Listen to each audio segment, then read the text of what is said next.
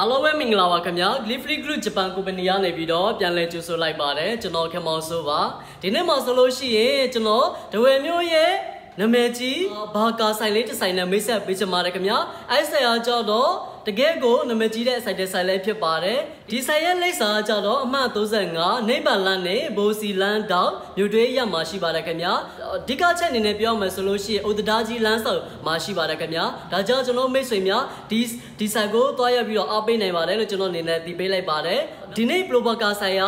နံပါတ်3ဆိုင်မြောက်ဖွဲ့တဲ့ နေ့ဖြစ်ပါတယ်ဒီနေ့မှာဆိုလို့ရှိရင်ဒီလိုမျိုးခန္ဓာလာတဲ့အဖွဲ့ပွဲတွေမှာလူတွေဘယ်လောက်စီကားနေလဲဆိုတော့ကိုကျွန်တော်ဗီဒီယိုကလစ်လေးဖွင့်ပြီးတော့ကြည့်လိုက်ရအောင်ခင်ဗျာ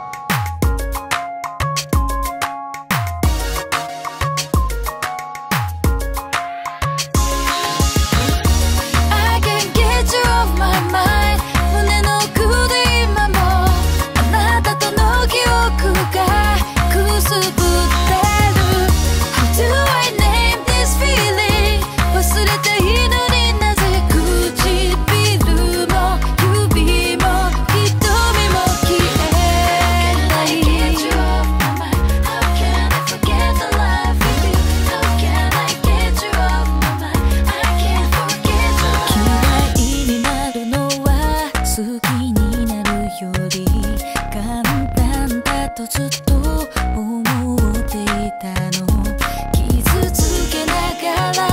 それでも私たち愛し合っていたのだから。忘れようとするとあなたを思い出す。 လိုမျိုးပလိုဘာကာဆိုင်ရဲ့ခန္ဓာလာတဲ့ဖွဲ့ပွဲကြီးကိုကျွန်တော်တို့ရဲ့မိတ်ဆွေများလည်းဗီဒီယိုကလစ်လေးဖွင့်ပြီးတော့ကြည့်ရှုခဲ့ပြီလို့ကျွန်တော်တင်ပါတယ်ဒါဆိုလို့ရှိရင်ကျွန်တော်တို့မိတ်ဆွေများဒဝယ်ရောက်လာခဲ့လည်းဖြစ်ဖြစ်ကျွန်တော်တို့ဒဝယ်သူပဲဖြစ်ဖြစ်ပေါ့နော်ဒီဆိုင်ခန္ဓာလာတဲ့အဆိုင်လေးမှာ